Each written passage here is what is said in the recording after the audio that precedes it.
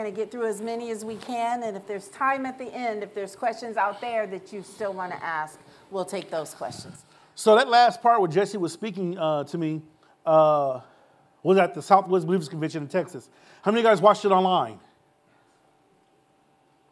Okay, okay. Good, good, very good. Grace didn't watch it online because she was there, baby. Go ahead, Grace. We were, uh, we we're sitting there. We're, we're, we were privileged to sit in the front row, and um, and we're and uh, I believe uh, Pastor George Pearsons he uh, invited he invited uh, people to come down to the front to you know the praise and worship, and you know those people everywhere. We're just kind of in the front, kind of just looking, looking at all everybody, and, and then comes off. There's Grace. I'm all where? and she, she's in there. She was in there right in the front, right there by the stage, just praise and worship. And I tell you, I was like, look at Grace. Go ahead, Grace. And then uh, I said, all right, go on back to your seat now. I'm, just, I'm, kidding, I'm, kidding, I'm kidding. But um, it, it, was a very was awesome, awesome time.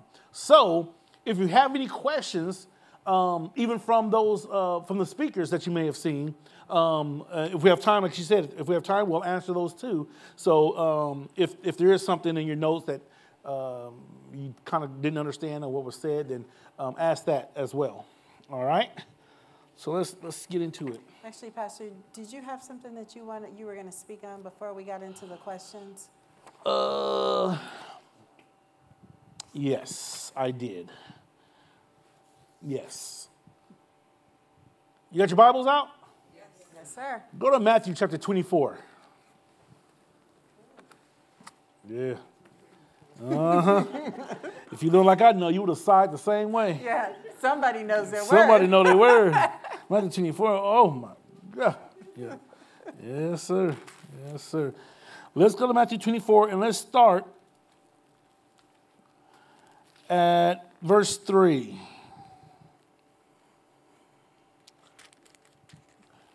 As, okay, I'll read from the, um, the screen, New Living Translation. Later, Jesus sat on the Mount of Olives. We're gonna, we're gonna go all the way to verse 14 uh, for notes' sake, if you guys take your notes. Uh, later, uh, Jesus sat on the Mount of Olives. His disciples came to him privately and said, Tell us, when will all this happen? What sign will signal your return and the end of the world?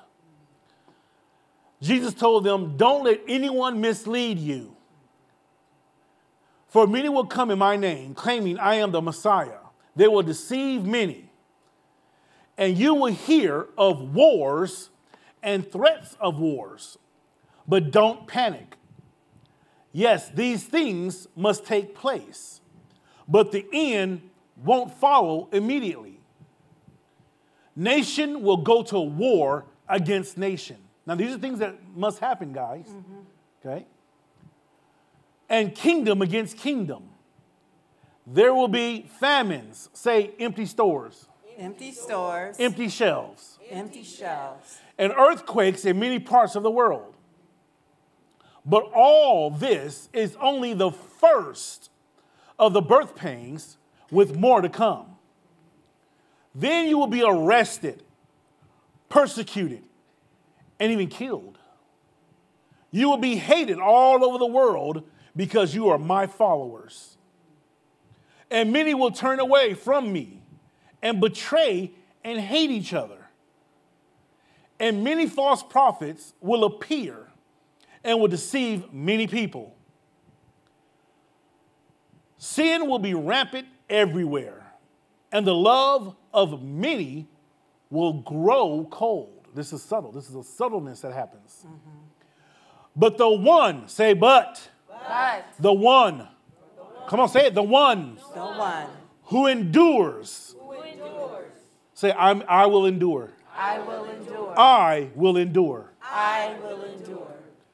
But the one who endures to the end will be saved.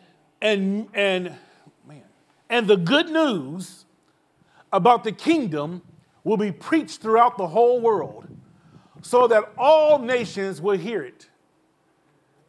And then the end will come. Now, after verse 14 and before verse 15 is when the tribulation happens.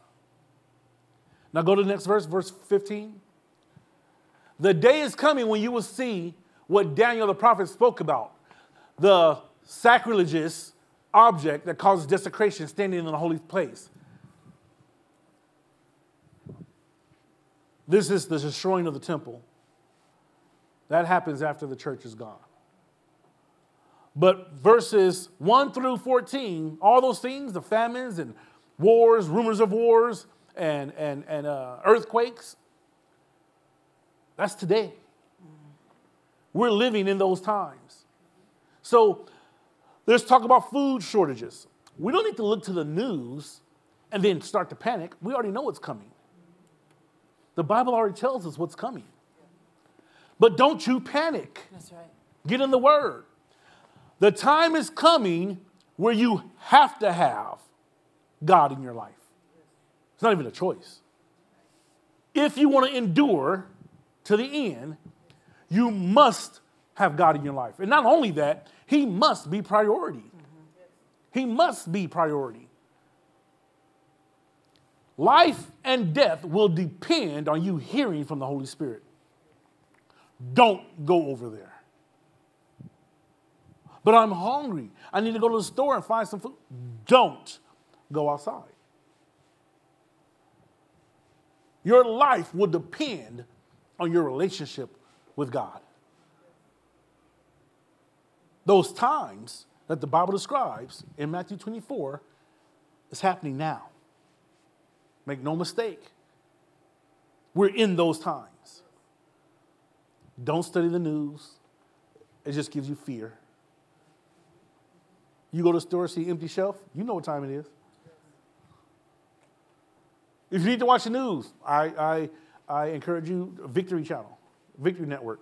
It gives you the news, but it puts in perspective how God sees the world mm-hmm. in the eyes of Jesus. Okay?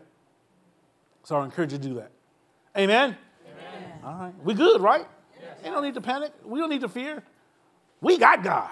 Amen. But there's those out there who don't. And it's up to us to let them know. Amen? Amen? Amen. Amen and amen. Okay, thank you for reminding me about that, Karman. Now we can get to these questions. Okay.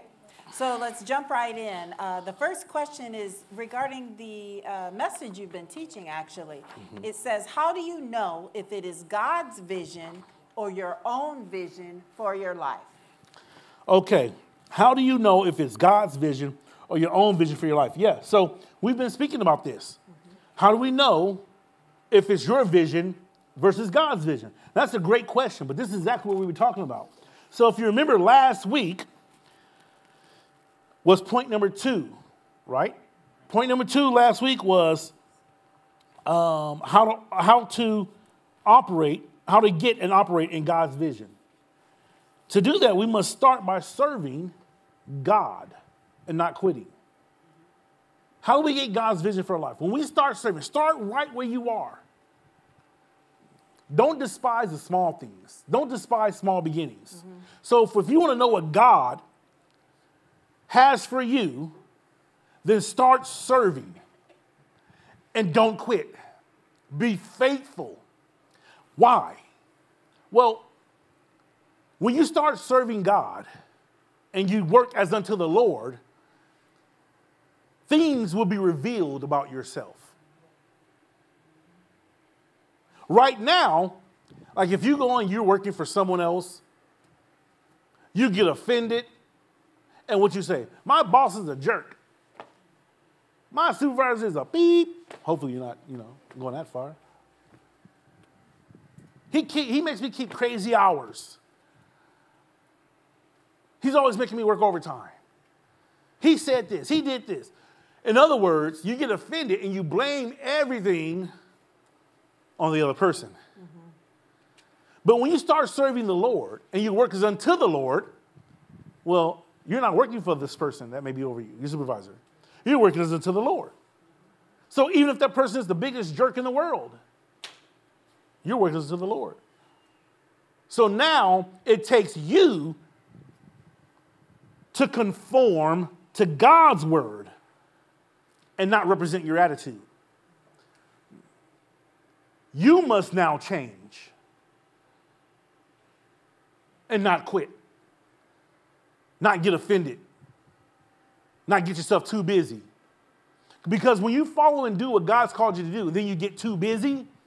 Well, you're saying, God, you're not important to me. You're not the most important thing in my life. And, and whatever it is you step down for, you're saying that's more important than God. Whether it's your attitude, your job, your schedule, you're saying, Lord, that's more important than me serving you. Well, you can't expect God to give you a vision. You can't expect God to, to lead you into what He desires for you to do because you just mess it up.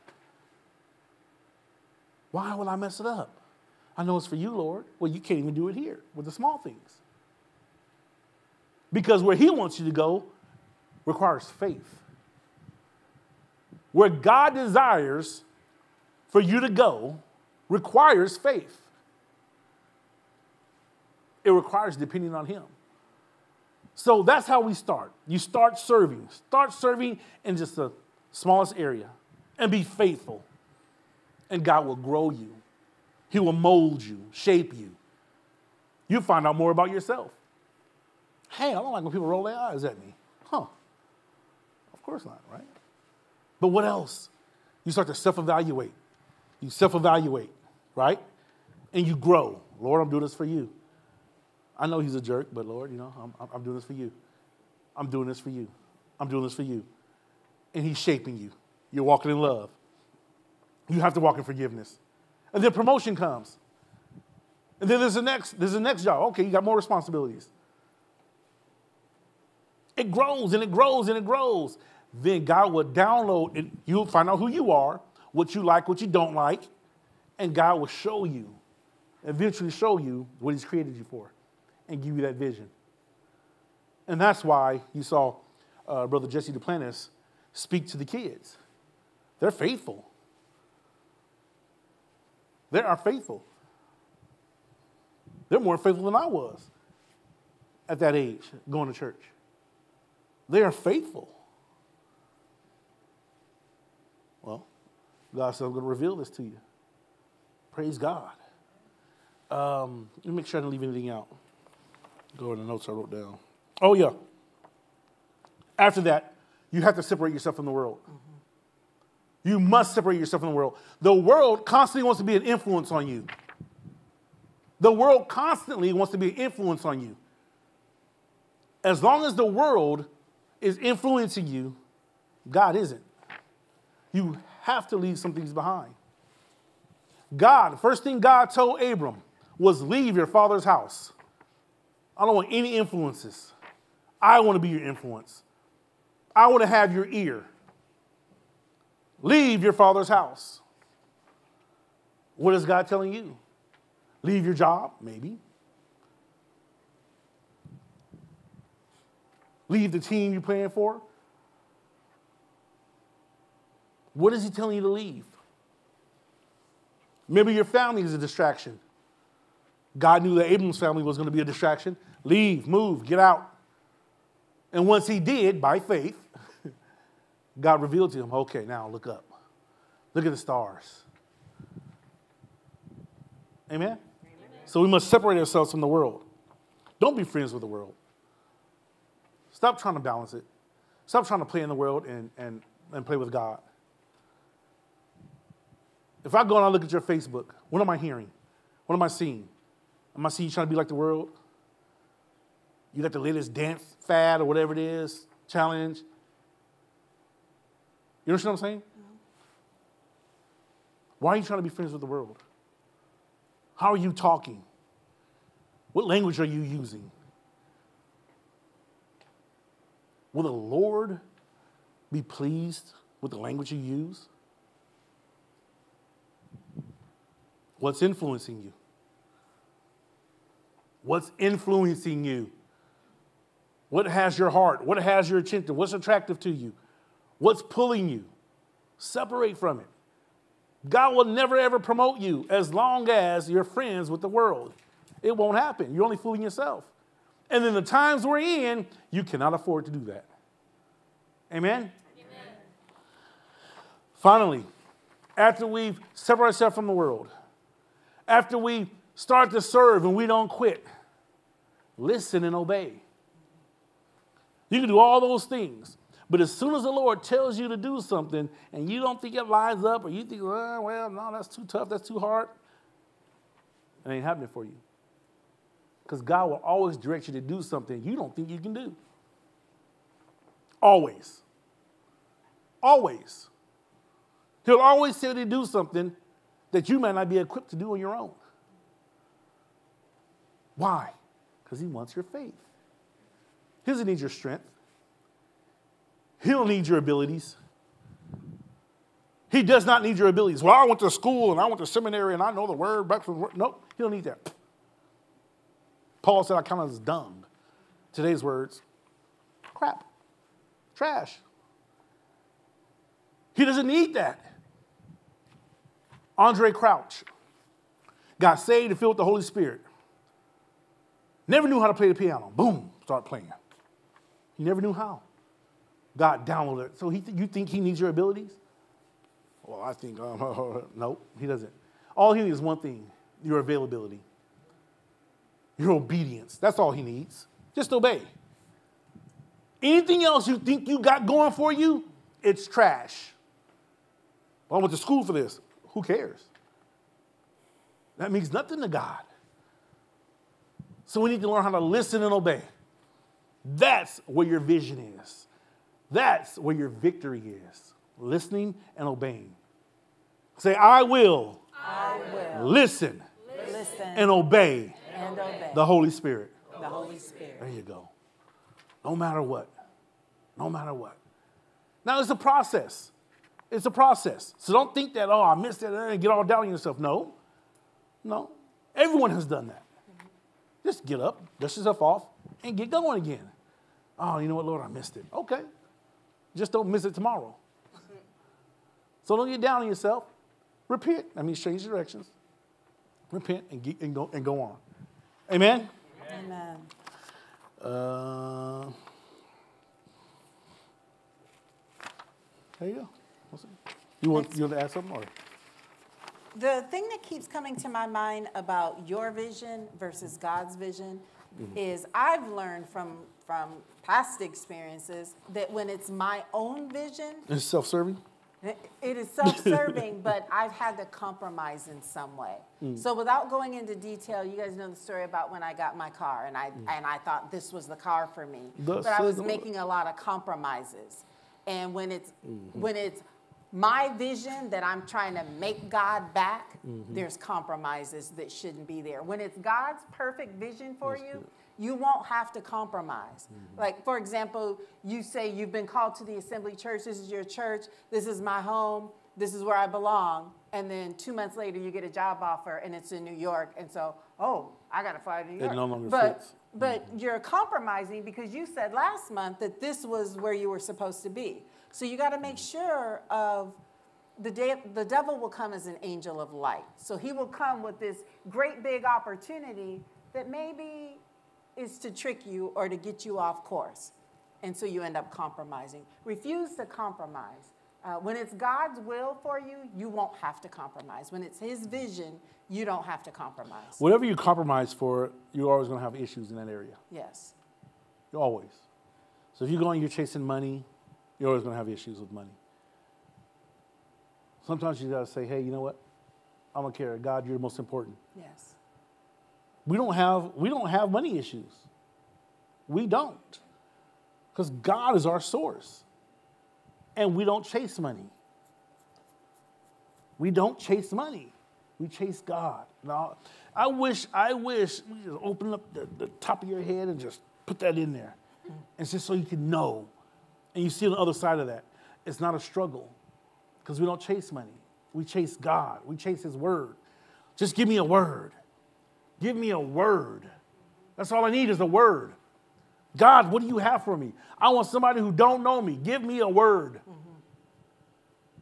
That's all you need is a word. If it was a choice between, hey, here's a job making $200 an hour or a word from the Lord, oh my goodness. I want the word. Why? Because old jerk so and so can fire you tomorrow. Mm-hmm. Oh, yeah, you made $200 an hour for two weeks. What you gonna do now? I want a word from the Lord. a word no one can come against. Yes. You have to see it that way. So if you haven't gotten a word from the Lord, you're not chasing God. You're not chasing Him. You're not chasing the word. You chase the word. Why? So the blessing could chase you. Come on. Ooh, that's good right there, isn't it? Y'all don't understand. You better write that down. That's Deuteronomy 28. It says it will overtake you. The blessings will overtake you. It will overtake. What does that sound like? What does that? That means it's chasing you. That means I'm busy doing what God calls me to do, and somebody jumped on my back. What is it? The blessing. the blessing jumped on my back and tackled me. Well, jump me, tackle me, dog pile. Come on, you understand what I'm saying? I want the blessing to overtake me. Kidnap me. Yeah, saw a picture. The blessing jumped out of a van, put the cover over your head. and- I mean, just, just have your way. That's where you gotta see it. Amen? Amen. You guys understand that? Okay, let's Okay. too long. Let's move on. So If y'all ain't got it, your wood's wet. I'm just we're going to switch gears a little bit. The next question says, How will we recognize family in heaven? How will we? How By will looking at them? Oh, um, um, I, I apologize. I'm being all slick. Okay. I'm, I'm, I'm, I'm guessing the question is, will we recognize family in heaven? Not how we will recognize, right? Okay. Am I right? I don't know who asked this question, but okay. Um, will we recognize family in heaven? And the answer is yes. We will recognize family in heaven. Um, uh, in Luke, Luke chapter 16, it talks about the rich man and Lazarus. Well, they knew each other um, on earth earlier, and the rich man recognized, actually, he recognized um, uh, Abraham and Lazarus. So he called him by name. Right. Now, of course, he never knew Abraham, right? He never knew Abraham. Um, but he recognized Lazarus and who Abraham was. In fact, Jesse Duplantis, you just saw the video of, he had an encounter where he actually went to heaven and he saw Peter and he knew who Peter was right away. He doesn't know how Peter looks. There's no picture of Peter. You don't go to first, second Peter and have a picture of Peter doing this. It's not, it's not, I mean, right? Uh, you can't go to Wikipedia and be like, oh, this is Peter. No, there's no picture of Peter. And uh, he described him a man with reddish hair, uh, and he recognized him right away. Um, so, to answer your question, yes. Um, and then in Luke 9, um, 9 Luke 9, 28 through 36, um, about um, where um Peter, James, and John uh, saw a transfiguration of Jesus. Um, they recognized Moses and Elijah. And of course, you know, Moses has been dead for, you know, 1,500 years and Elijah almost a 1,000 years. So, of course, they never seen them, but they recognized who they were. So, will we recognize our loved ones, our family in heaven? Absolutely. Yes, we will. Yes, we will. That's all I got to say about that. Any questions from that?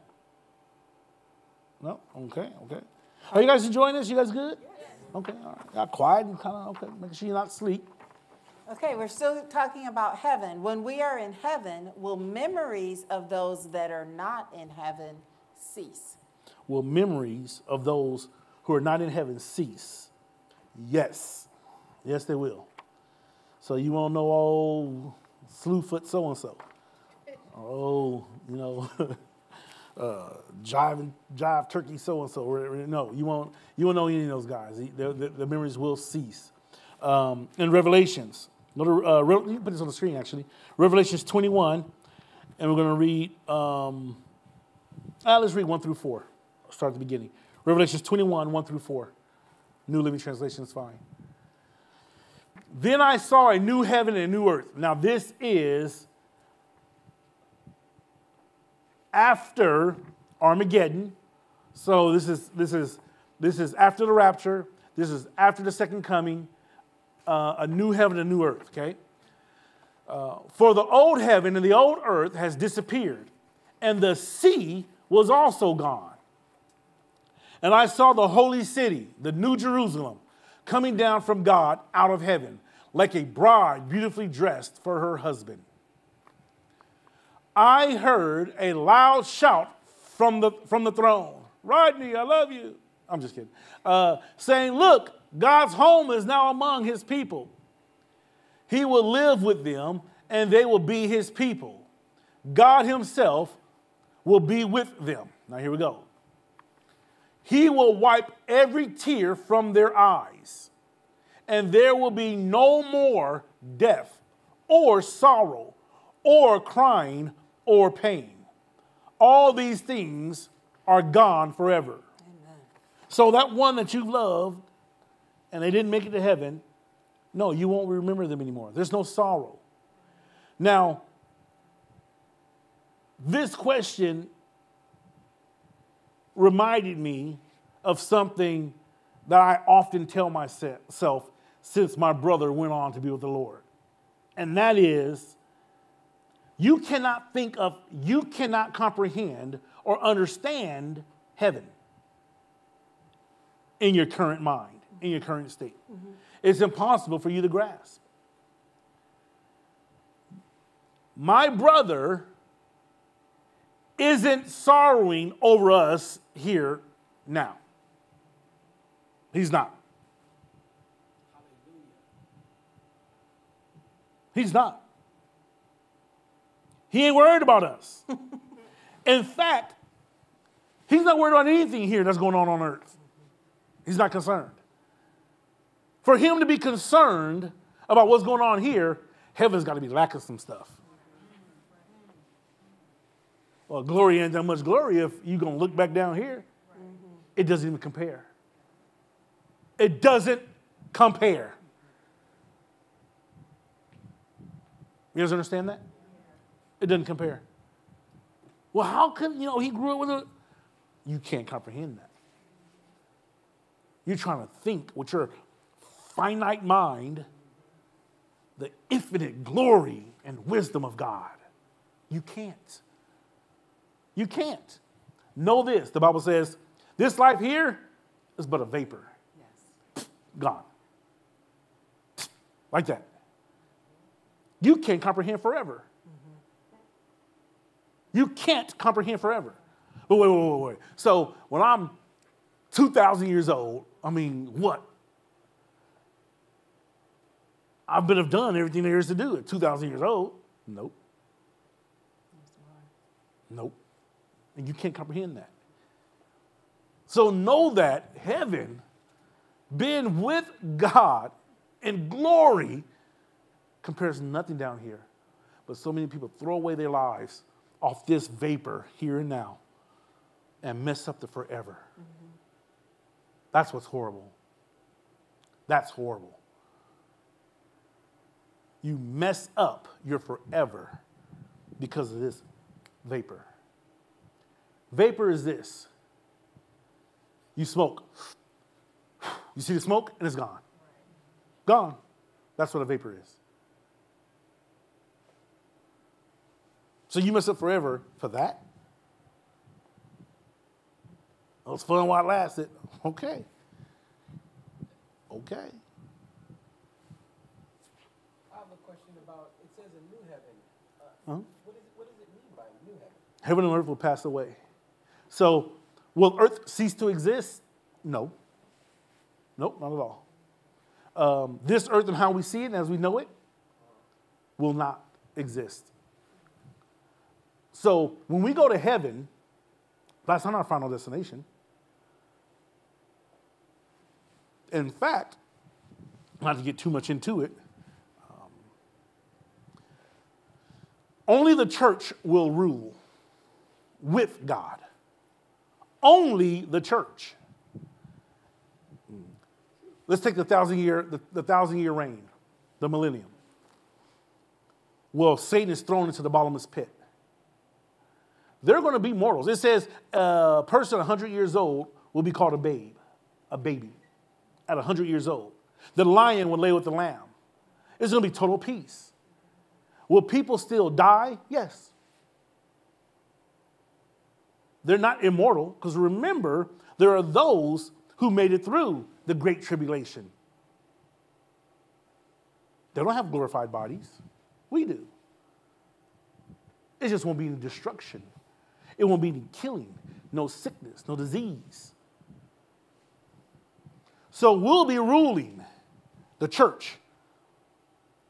There's tribulation saints. What are they doing? They're not ruling, they're servants. They're serving the throne of God. They're lined up in front, in front of the throne. Only the church will rule with Jesus. Gotta know your word. Get your word, study it. Okay? So, heaven as it is now, the earth as it is will pass away, and it'll be a new heaven and a new earth. Okay? So, Okay, all right. that's good stuff You guys, right are, there. yeah, you guys are quiet. Are you guys thinking or are you asleep? Hmm? You guys, you're with us, right? You get with, oh, uh, Gra- uh, Grace. had a-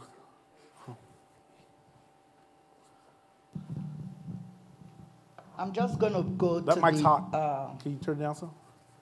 the basic Uh huh. on the tradition of the religion of our people. Um, I heard that, you know, when our loved ones is in heaven, there is still a connection for them to be watching over us. so I just want you to touch on that. Yeah. No. Um, no. Uh, hmm. How can I put this? I've answered it um, a little bit already as far as um, uh, they're not concerned with us down here. Those are some crazy looking shoes, brother. I just noticed I'm like, whoa, whoa, he like Beastmaster. Anyway, um, um, I apologize, squirrel.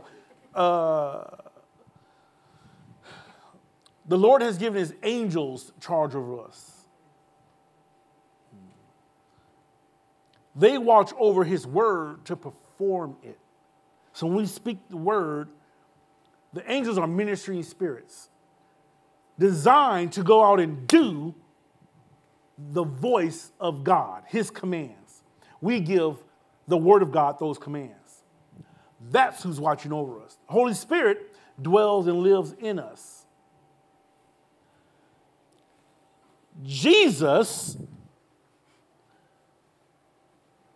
oh, I'm on her left, so Jesus, pretend she's on the other side, is doing this. Now, God, can I go get them now? Lord, now? How about now? Can I go get your people? Can I get them now? Can I go get them now?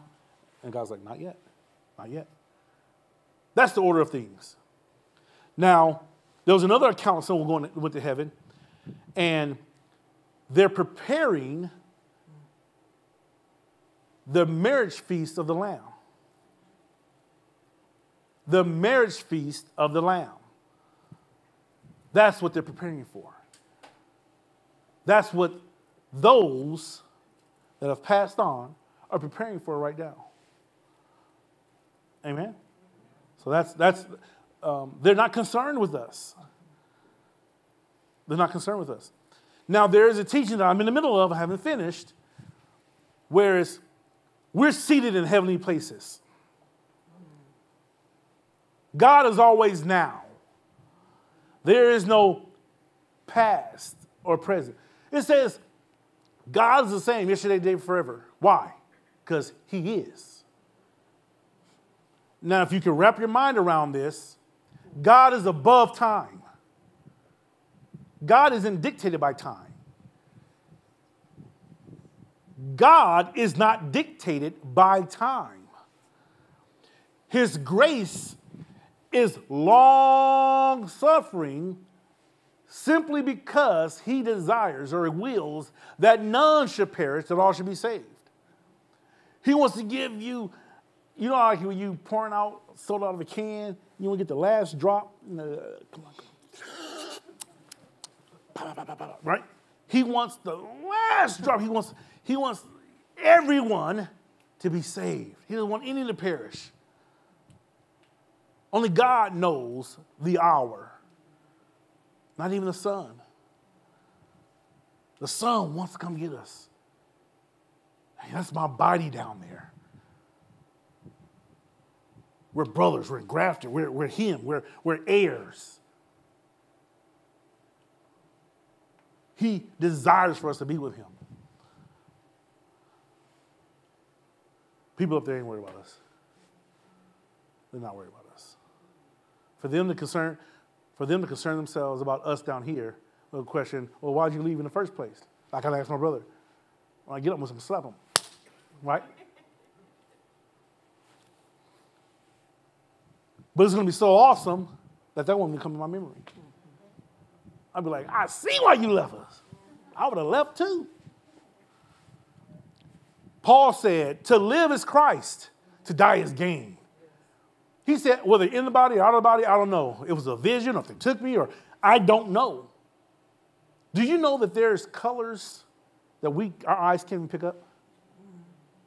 Your eyes, your natural eyes can't pick up. There's more colors you will see when you get to heaven. There's a color called glog. It's a type of green. I'm just kidding. I'm, I'm kidding. I'm making up stuff now. But we can't compare our now to heaven. Amen? Amen. Say, I want to go. But not now, but not now, but not now. We got work to do. We got work. Now. Yeah, there you go. Come now, Lord Jesus, come. But we got work to do. Amen? Amen. Amen. Okay. Okay. Those are good questions. We got a lot of questions. I know. The next one, moving on. If God sees the end from the beginning, how can we have free will? If God sees the end from the beginning, how can we have free will? Okay. I know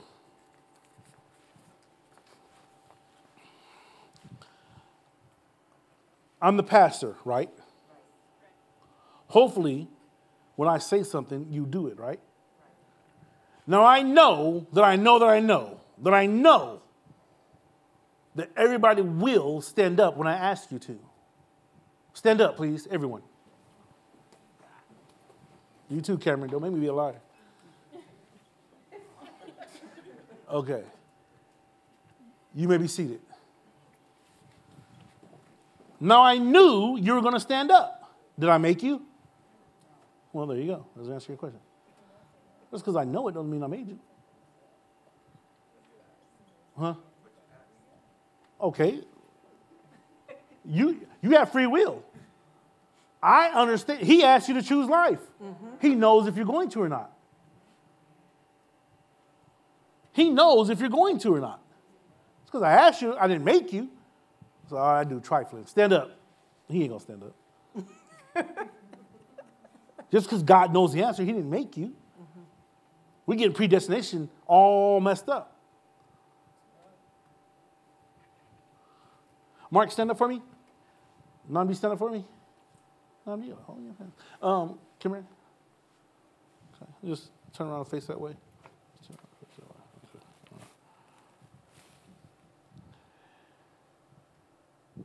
If I call these two to go sit down in their chair, and I know that one of them won't, I've pre-knowledge saying, I know this guy's trifling, he don't like me, he, he, he don't do what he want to do. right?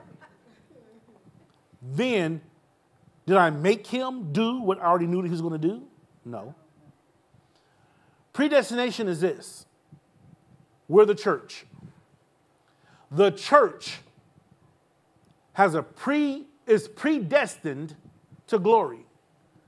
The church is predestined to the glory of God, that we're heirs, right? Right. We're traveling in a certain direction, but it's their choice to get on or off. You say, okay, I'm done. Go over to, the, to your right. So he just got off the, the, the boat. He just got out of the church. The church is still going to where it's going to go. It's been predestined. It's going to go take off from this port and it's going to that port. Nothing can stop that. The church is predestined. Are you on board or off? He's on. So the lives weren't predestined, the church was predestined. So that's predestination. You may sit down.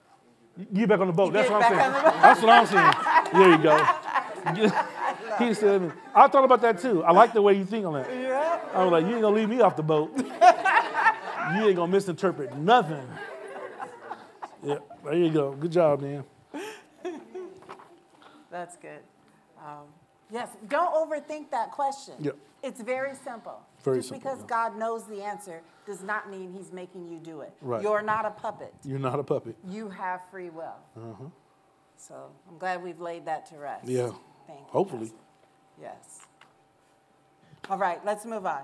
The next question is this Should we love ourselves before we can love someone else? And I'm going to start off, I'm going to answer this one if it's okay. Well, okay. All right. I'm going to start off by saying no. And let me qualify that because I don't want us to get mixed up in the terms that the world uses. There's so much, oh, I got to love myself and I got to take a self help day. I see people post all the time, you know, I'm going on a self care day. I got to take care of me. Uh, Pastor teaches us it is not our job to care for ourselves. That's God's job. So, loving ourselves, uh, love, charity, by definition, is about others.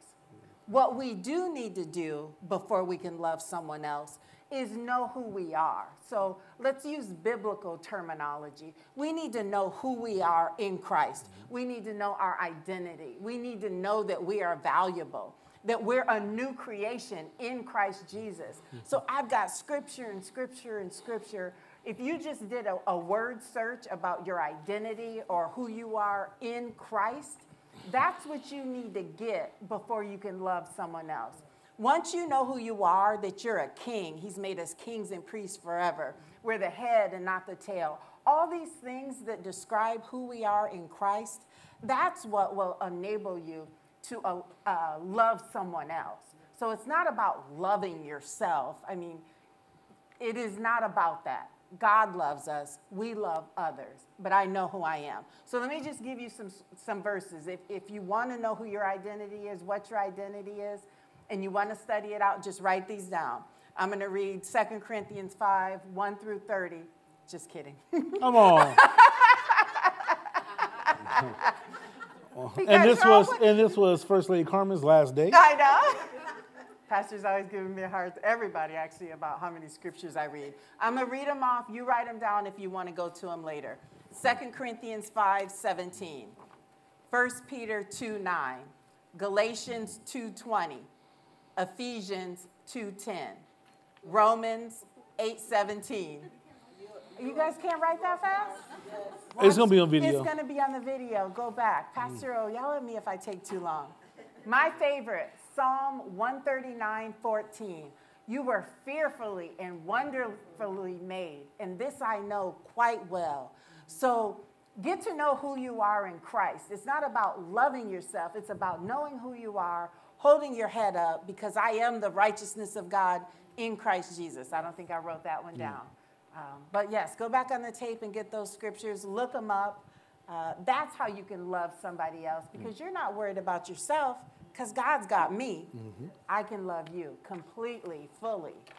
Amen? All right. Knowing who you are, who you are, who you belong to, who you serve. Amen. That's what it's about. Yes. And you can't you can't love someone else until you do that because then you're loving on your own strength. Yes. You can't love someone else out of your own strength. That's why divorce happens. Because you're loving the way you can love. Instead of how God's telling you to love. When God, when you love someone God's way, you're not thinking about yourself. Some of you are too selfish to love. You're too selfish to be married because you're constantly thinking about yourself. And what about me? What about me? What about me? What about me? What about me? And what about me? It's about others. Mm-hmm. It's about others. Love is about others. It is. Mm-hmm. Amen? And to give you an example, so when Pastor and I were dating, we, we, uh, we dated for six years, right, Pastor? About five, years. Five to six years. Off and on, because um, he broke up with me like five times, but that's Hey, okay. sometimes the grass is greener, Stop. but then it Um, wasn't. And I I, I'm remember. being honest. I remember I had a really hard time with that because I did not know who I was. I did not have my identity in Christ. I was saved, but I didn't know a whole lot. So I did not have my identity in Christ. And that made the when we did get married, it made the first few years of our marriage not good. It made it very hard because I didn't know who I was.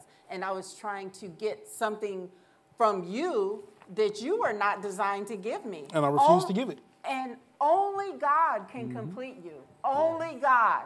Let me say that again for the, the women in the back. Only God can complete you. So don't look to a spouse. Yep. Don't look to a man. Men, don't look to a woman mm-hmm. to complete you. Only God can do that. And once I learned that I wasn't going to get that hole, that God shaped hole that mm-hmm. everybody has, He wasn't going to be able to fill it for me. And I allowed God to do what He was create, what He created me to be, to be that for me. That was jumbled. Yeah. Once that happened, um, it got better. So trust Now, what if I would have given in to that? Yeah. What if I would have given in to me? That, oh, okay, I'll give in to her and do all this, do all this. Not- Where would we be today? Not here. Not here. Oh, Pastor, you're mean. And I know some of you think that. Oh, well, you need to be more soft. You need to be more compassionate. No. And I don't do it. I, I, I do what I do for a reason, for a purpose. You need to grow up and look to God. Don't look to anyone. I'm not going to coddle you. I know that that's going on. I will not coddle you. I will not, oh, poor baby, you'll make it all that. Nope, that's trash. It's junk. So I won't give in to that. I wouldn't have the powerful woman of God sitting next to me now if I did that. I will not give in. So if that's what you're looking for, you're looking for something soft and loving and you're in the wrong place. He has made us kings and priests. Amen. Grow up. Grow up, pick up your sword, and do what God's called you to do. Well, you're just mean. Bye. Leave. you want to miss it? Go. But I will not cater to that. That leads to destruction. That's what the devil wants. No. You are more than a conqueror. Act like it. My goodness, you got me hot on that. All right. Let's go.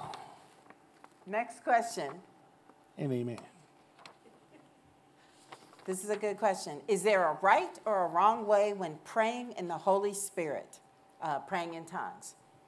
At times I feel drained, and at other times I am pumped up and I don't want to stop. Okay, um, I'm gonna read my answer first. Um, praying in tongues is just that praying in other tongues. It's not babbling, it's not making noises, it's speaking. So, as long as you are doing this, then there is no wrong way. You will start out as a baby, you might say blah, blah, blah, blah, whatever, something like that. I don't, I- I don't know. Uh, yeah, anyway.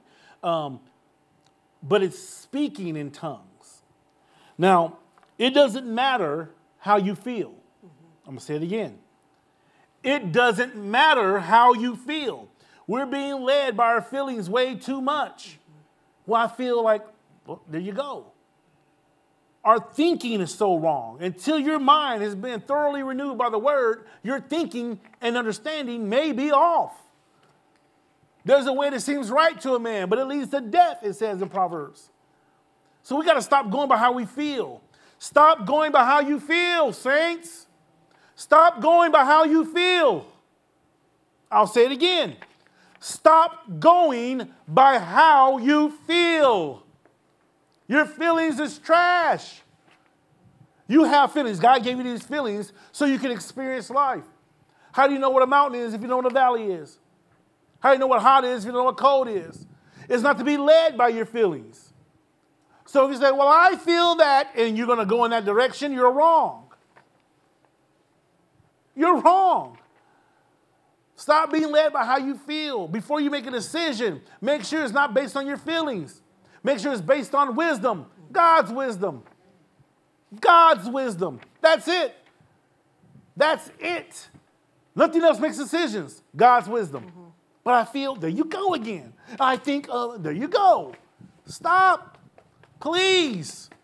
Stop. And some of you try to pull me in with your feelings. Oh, I feel sorry for this person. No. No. I'll have compassion, but I'm not feeling sorry for you. I will not. What's that gal's name from the WNBA? Yeah, she got like nine years. I rejoiced. How you gonna take your hide over to someone else's country, smuggling drugs, thinking you're out here in this lackadaisical country full of lackadaisical laws and rules, and you go over there trifling, get nine years, and want to cry? Oh, it's too harsh. And now we're like, oh, hey, we're gonna let this Russian assassin go. Let's trade. That's what she gets. People don't change when they see the light, they change when they feel the heat. Sometimes the heat is good. I won't feel sorry for you. No. I will not feel sorry for you. So stop trying to get in touch with my, my emotions, because the only one you're going to get is probably the anger one. Don't do, you can't do that. I get so many people trying to manipulate me with their emotions and want to feel sorry for them and pull at them. I don't do that. That's not me. That's manipulation. I don't like being manipulated. I will not be manipulated.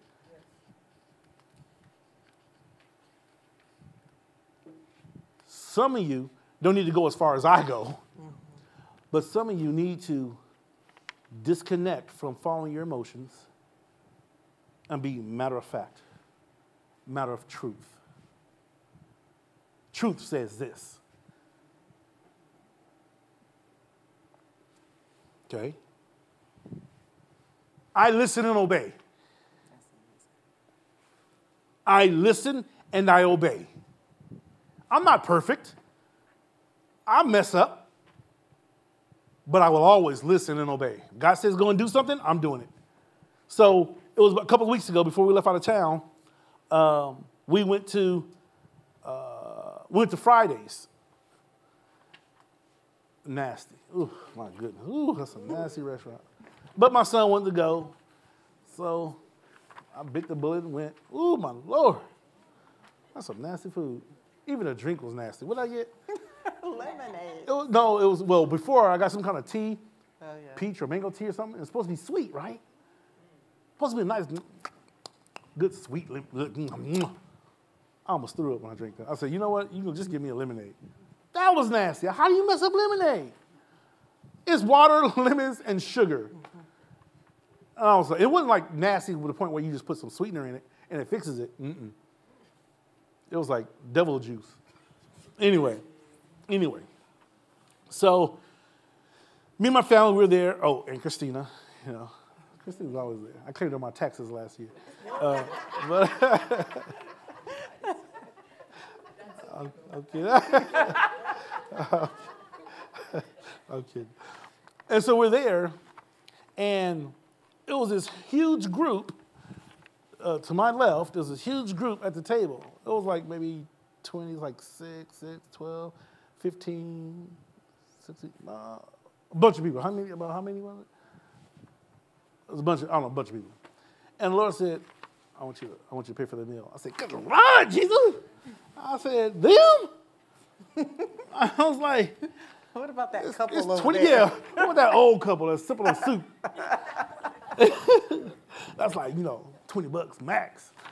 And he was like, pay for their food. I'm like, oh my Lord. So I was like, okay. So I called the wait the waitress over. I said, um, hey, um, can, I got a question for you. How much is their bill? And she said, uh, it's about 300 and something dollars. I said, oh, jeez. And I don't know why I asked, because no matter what it was, I have to obey. And so I was like, okay. I was like, ah, here we go. Oh, no, no, no. She said it was 400 and something. 400, yeah. It was 400 and something. But um, I saw they had like a bunch of liquor at the table too, drinks and stuff. They were getting down. I was like, they gonna put that on my bill. I said, no, I'll pay for everything except for the, the alcoholic drinks. And so I brought them a three something. And so I did it. And normally I do it and I bless them, don't. But that wasn't this time. You got to listen and obey. So at the end of it, I um, came over. I came over to the table and talked with them just a little bit. And I said, uh, "Well, I hope you guys enjoy your, you know, rest of your day. Uh, I paid for all your meals." And then someone laughed, whatever. And then I was like, "Wait, are you serious?" Well, yeah. He goes, "You paid?" No, no. I said, "Yeah, I did." I said, "God bless you guys," and just make sure you know uh, my motivation and why I was doing it. And I was directed to do that. That's three hundred some dollars. Now, just because we have money, you have to be a good steward of money. You don't just throw money around. You gotta be, you gotta be a good steward of what God's giving you. And I know some of you may be in a position where, man, what I could do with three hundred dollars. Right. Well, you can be in the same position. Listen and obey. But I said all that to say, no matter what situation, it doesn't, you don't go by how you feel. You don't go by your current understanding. You don't even go by your what's in your bank account. Oh, I got this bill, but you know, I got this bill due and this, this, and you calculating. So if you say, hey, I got $200 in my account, and you want to pay for these people's food and it costs 175, but I have a bill that's due in three days for $100. If that keeps you from doing what God told you to do, you're not ready. Because the way you look at it is, oh man, God must be going to do something in three days. Mm-hmm. If you're telling me to do this now, I got this bill due, he knows about the bill. And you, he knows you got this bill due, and you want me to give the bulk of my money now? Ooh, Lord Jesus, something's about to happen. And you do it proudly. Woo! Not proudly. We're not, we don't do things out of pride. Joyfully. You do it with cheer, with joy. Because you know God's about to work in your life. That's what happens, or reaction you have when you have faith in God. That's how you respond. Man, something awesome is about to happen. Something awesome is about to happen. God's about to move on my behalf. Amen? That's the way we look at things. Anyway, always listen and obey. Don't go off of how you feel. You know what? I got. I got to say. Everything has an ear. Everything can hear. Everything. What are you talking about, Pastor? Well, in Mark 11, uh, he says, Say to this mountain, be thou removed, be thou cast in the sea, right? And then Jesus said, Jesus said, He answered the fig tree, right? The fig tree can hear. The mountains in your life, they can hear.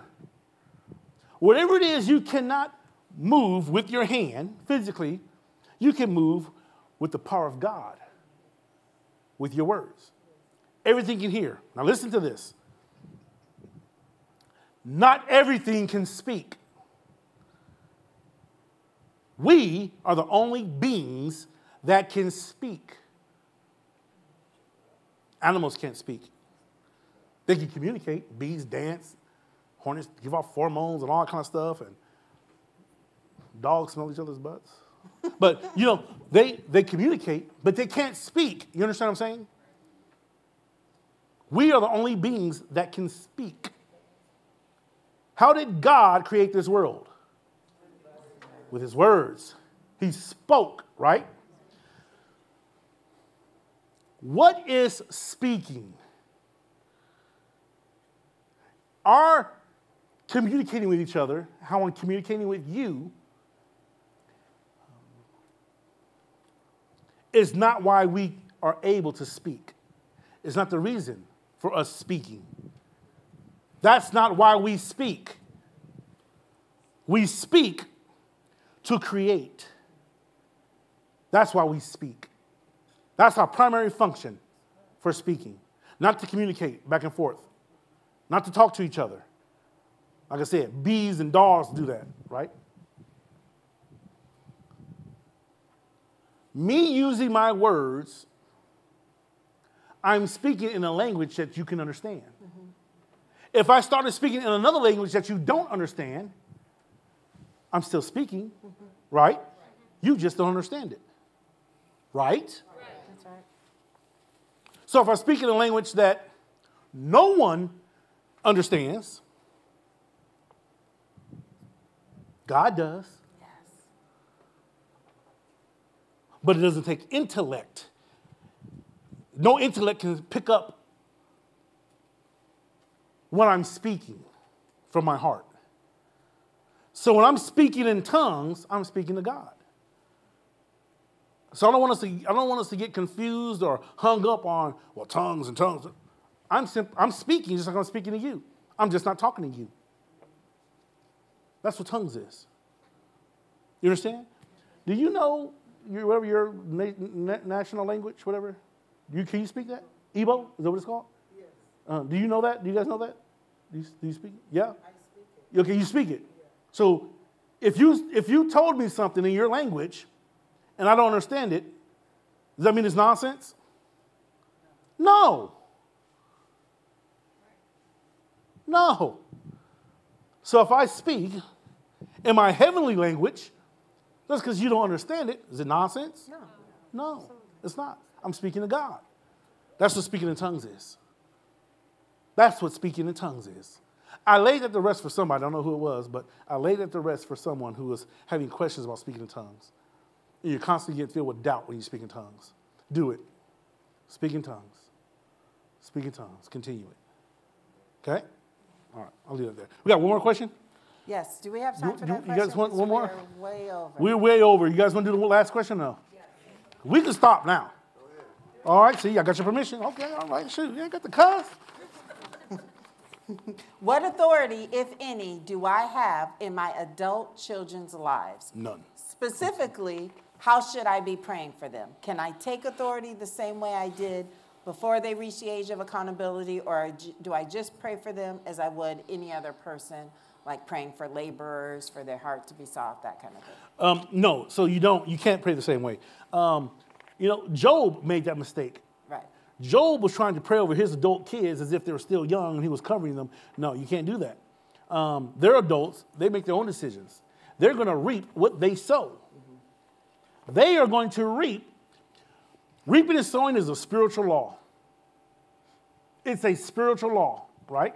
So when you reap, or excuse me, when you sow something good and you reap something good, you don't complain, do you? No. Oh, but all of a sudden we want God to halt all creation when you're about to reap something bad because of your bad sowing. Well, when you're an adult, you will reap what you sow. It is a spiritual law. Okay? So, with that being said, when our children are underage, I'm going to read it because um, I wrote it out and I don't want to miss anything. When our children are underage, then we are their source for everything, not God. We are, as parents, we're our kids' source. This is why we see children dying. Now, those who do pass on absolutely go to heaven because God is not a cruel God. So kids will pass on. They'll die just as quick as an adult will die. God doesn't come in because they're children and intervene. Nope. What moves God? His word. So, as long as our children are underage, our job is to protect them, not only physically, but spiritually as well. It is our responsibility to transition our children of us being their source to God being their source. When the Bible calls for us to train up our children in the way that they should go, that does not mean to just discipline them. It means that we must show them how and be an example of making God their source. So, training up a child the way they should go doesn't mean you just whip them when they do something that you told them not to do. It means you living a life as an example of how to make God their source. Right. They see God working in your life. They see you turn to God in every decision making. And then that's how they grow up. You train them up in the way that they should go so when they're older, they won't depart from it. We cannot cover them in prayer as adults as we once did when they were um, children or before the age of accountability. We cannot do that. We cannot cover them the way that we do when they were kids. They're living their own life. They're making their own mistakes. Romans 14, 12 says each of us will give a personal account to God. Hebrews 4:13 says, "Nothing in all creation is hidden from God. Everything is naked and exposed before his eyes, and he is the one to whom we are accountable."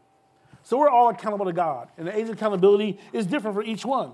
When you know that your actions has consequences and you're, um, you're, you can make that judgment call, you're at the age of accountability, knowing right from wrong. That's when you're at the age of accountability.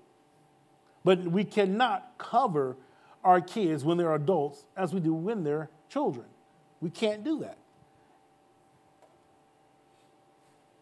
Okay. Any other questions off that one? Anyone confused or don't like the answer? I know we want to. We never stop loving our kids, our children. I keep saying kids. Kids is a goat. We never stop loving our children. Uh, but yeah, we need to pray. Laborers come across their path. Uh, Holy Spirit, continue to draw them in. Let them thirst for you, Lord. You know, there's all kinds of things that we can pray, but we cannot, we cannot declare the word. Wake up, Luke. Uh, we cannot cover the kids, so I call them out. Uh, we cannot uh, uh, um, cover our kids, our children, as adults, as we do when they were before the age of accountability.